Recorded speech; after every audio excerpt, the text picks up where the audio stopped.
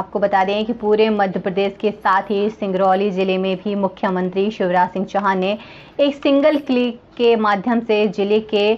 19 करोड़ 19 लाख चार हजार लाडली बहना योजना का लाभ सिंगरौली क्षेत्र के लाडली बहनों को ट्रांसफर किया है वहीं यह राशि ट्रांसफर करने के बाद मध्य प्रदेश के मुख्यमंत्री शिवराज सिंह चौहान ने घोषणा की है कि अभी तो हम इन प्रति बहनों को एक हजार दे रहे हैं जैसे हमारी अगली सरकार बनेगी हम इन लाडली बहनों को धीरे धीरे बजट बनाकर तीन हजार प्रति लाडली बहनों को देंगे सिंगरौली जिले के युवक कांग्रेस के पूर्व जिला अध्यक्ष व कांग्रेस पार्टी के ग्रामीण इकाई के मीडिया प्रभारी